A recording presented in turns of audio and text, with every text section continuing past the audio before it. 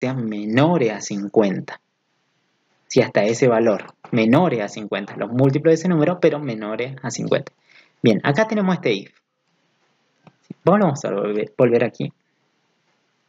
Bien, vos tenías que, tenías desde aquí hasta aquí, era desde 1 hasta 10. Eso ya lo validamos con el primer if. El segundo if valida desde aquí hasta aquí. Valida entre 1 y 5. ¿Estamos bien? Si entra en esta parte, obvio que ya sabemos que el número está entre 1 y 10. ¿O no? Si ingresa por aquí, sabemos que está entre 1 y 5. Pero si no ingresa por ahí, ¿entre qué valor está? Obvio, estarían los siguientes, desde 6 hasta el 10, ¿o no? Entonces, por descarte, este if que tenemos aquí, si yo hago un else, ya sé yo por lógica que aquí ingresan los valores desde 6 hasta 10. No es necesario preguntar si num es mayor o igual a 6 y num es menor o igual a 10. No es necesario, pero si quieres preguntarlo también está bien, no hay ningún problema. Pero no es necesario si te das cuenta. Si acá ya ingresó entre 1 y 10, aquí ya ingresó entre 1 y 5, y aquí obvio que ingresa de 6 a 10, nada más no hay otra chance, ¿sí? por descarte. Pero si quieres preguntar, no hay ningún problema, podríamos copiar, va, podemos hacer, ¿sí? if. Si querés preguntar de vuelta, algo que obvio que ya sabemos, también se puede, no estaría mal, digamos, ¿sí? Si este número, como tiene que ser mayor o igual a 6, vamos a agregar un i. El número tiene que ser menor o igual al valor de 10. En sí estamos preguntando algo que ya sabemos para este else. Fíjate que este else, obvio que por este camino ya sabemos que está entre 6 y 10. Pero si lo quieres preguntar de vuelta, para estar más seguro, no hay ningún problema. ¿sí? Igual después ya lo vamos acá y vamos a ver que da lo mismo. Si está entre 6 y 10, ¿cómo hago yo para generar los múltiplos, personalmente los números menores a 50?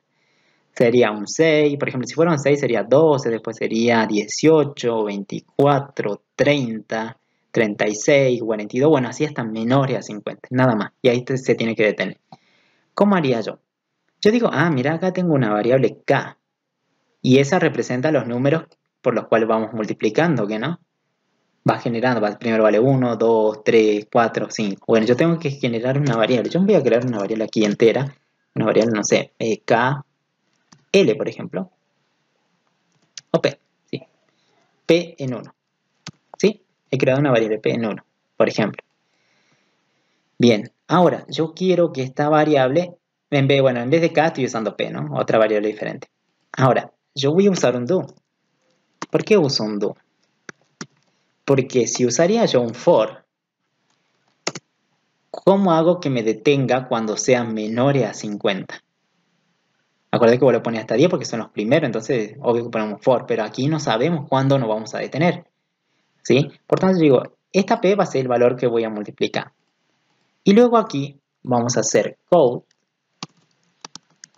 Vamos a decir, a ver. Eh, bien, tendríamos que calcular el múltiplo, ¿sí? Por lo tanto, yo me voy a crear aquí, chicos, miren. Me voy a crear una variable multi, múltiplo, ¿sí? Vamos a decir int múltiplo. Bien, una variable. Y ahí lo voy a guardar, ¿qué? Esta parte, hace rato no lo guardé porque no era necesario. Ahora podría ser necesario. Voy a decir, el número lo voy a multiplicar por lo que vale p. P va a representar base 1, yo pues quiero que sea 2, 3 y así, como K, ¿sí? Solamente que se llama P aquí. Entonces, esto que se vaya multiplicando y el resultado se guarda en múltiplo. Luego, si querés mostrar el múltiplo, sería un code. ¿Sí? Aquí. Y si querés, bueno, mostramos directamente el múltiplo, múltiplo. ¿sí? No es necesario un cartelito. Y un en L, ¿sí? Por cada vuelta. Ahí está. Bien que haga un salto de línea. Ahora, Está bien, estamos multiplicando, solamente le estoy guardando el resultado en la variable múltiplo y aquí estaría guardando. Bien, pero esto dice solamente los múltiplos menores a 50. Entonces, yo aquí lo que voy a poner es que esa variable múltiplo sea menor a 50. Mientras la variable múltiplo sea menor a 50, esto se va a volver a repetir. Bien, pero no te olvides de P. Aquí en el for la variable k se incrementa, pero aquí en la variable p, ¿dónde la está incrementando? Tenés que incrementarlo. Calcula el múltiplo y p más más. Y que se incremente el valor de p para que el siguiente pregunte por un valor de p diferente. ¿Sí? Y calcule un múltiplo diferente. ¿Estamos bien? Entonces acá, en esta pregunta vamos a poner que el múltiplo sea menor a 50. Hasta que se cumpla esto. ¿Sí? Mientras el múltiplo sea menor a 50, va a ir repitiendo. Pero cuando ya no cumpla esta condición, ya se termina, se tendría que terminar. Vamos a probar si esto funciona o no funciona. ¿Sí? Acá, múltiplo. Bien, ¿qué me está diciendo? Acá hay un error, ¿sí? Múltiplo no está declarada en el scope. Bien, si te dan cuenta, múltiplo yo la definí acá adentro. Está creada aquí adentro la variable. Y cuando lo quiero usar en el while, no me lo está tomando. ¿Por qué? Porque toda variable que está generada dentro de un do o dentro de una estructura repetitiva pertenece a esa estructura. Y fíjate que el do comienza aquí y termina en la llave. Por tanto, está aquí adentro. Y aquí lo estoy utilizando afuera. Entonces yo digo, ah, mira, no, no se puede utilizar. Por eso te da el error. Vamos a cortar esto. Yo digo, ah, no, entonces la creo antes. ¿sí? Para... No hago problema. La creo antes. ¿Dónde la utilizo? Aquí. Entonces acá directamente pongo múltiplo. ¿Sí? Vamos a probar si eso funciona o si no lo corregimos. Ahí está, perfecto. Como la variable está creada antes, aquí la estoy utilizando, por tanto, afuera también la puedo utilizar, no hay ningún problema. ¿Estamos bien? Está bueno que vean ese error para que lo puedan solucionar. ¿sí? Cantidad de números, bueno, ingreso 3. Primer número. Ingresamos como hace rato el 3. Los múltiplos, primero 10 múltiplos de 3. Ingresamos, a ver, ingresamos un 6. Fíjate, todos los números aquí, 6, 12, 18, 24, está bien, menores a 50. Pero ahí para acá me dio un 54. ¿Qué pasó aquí? Hay algo que está faltando aquí en esta parte. ¿Sí? Tenemos que corregir porque solamente tiene que mostrar los menores a 50. Bien, si nos damos cuenta prácticamente aquí no, no está entrando, ¿sí? Está entrando con un valor, por ejemplo, cuando es 48, 48 es menor a 50 verdadero, ejecuta una malla, sería otro valor más, digamos.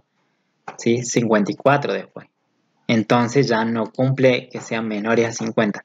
Vamos a intentar tomar esto y vamos a cambiar de estructura. Vamos a intentar usar, a ver, vamos a crear lo mismo. Fíjense lo que voy a hacer. Vamos a correr primero una variable p en 1. Luego, al número lo multiplicamos por ese valor, que obvio que es 1, y tenemos un múltiplo. Ahora, vamos a usar un while. Vamos a poner un while mientras. ¿sí? El mientras lo que va a hacer es preguntar si esa variable múltiplo es menor a 50. Podemos poner así. Obvio que aquí, obvio que te da el número por 1, ¿sí? Ese es el múltiplo, el primer múltiplo. ¿sí? Si fuera 6 sería 6 por 1 da 6. Entonces el múltiplo vale 6. 6 es menor a 50, verdadero. Por tanto, esto lo vamos a cortar, lo vamos a poner aquí. Entonces, mostrame ese múltiplo. ¿Estamos bien? Luego, ¿qué vamos a hacer? Luego, esto lo vamos a sacar ya, ¿sí? ¿sí? Para que vean la diferente alternativa. Bien, aquí muestro el múltiplo, está bien, pero tendría que volver a calcular de vuelta, ¿sí?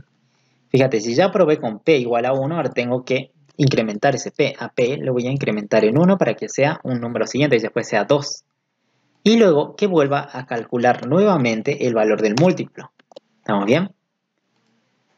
¿Por qué? Porque si no pones esta línea, si vos no pones esta, siempre va a ser múltiplo. Va a ser, por ejemplo, 6. 6. 6 se hace un bucle infinito. Por tanto, digo, a la variable múltiplo le voy a calcular ese número por, pero multiplicado por b, p. Pero p ya se incrementó anteriormente, entonces ya no sería 1, sería 2. Entonces acá sería 12. 12 es menor a 50, sí, muéstrame ese múltiplo 12. Incrementamos, ya sería 3, sería, eh, el valor del número sería 6 por 3, 18. Y se muestra un 18. Y así va a ir dando vuelta. Vamos a probar esta forma. A ver. A ver qué pasa. Bien, aquí me falta creo algo. Bien, parece que ya lo tenía corriendo, ¿sí? Ahí está. Si ya lo tenía corriendo, ya lo cerré. Ahí está. Tengan en cuenta eso. Estaba corriendo, entonces cierran la aplicación y vuelven a abrir. ¿Sí? Aquí, ingreso tres números, por ejemplo, el primero el 6. Ahí está. Desde 6 hasta 48. Ingreso, no sé, un 7.